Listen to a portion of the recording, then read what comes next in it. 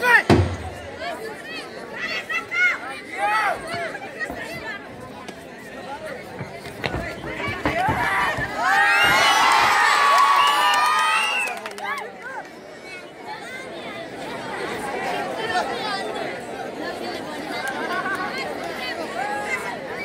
दारसँग सक्छ। दारसँग सक्छ। मारिदिन्छ। अहिले भएको खेलमा राजरबनका खेलाडीले खेल बिचमा छोडेका कारण क्षेत्रबिनका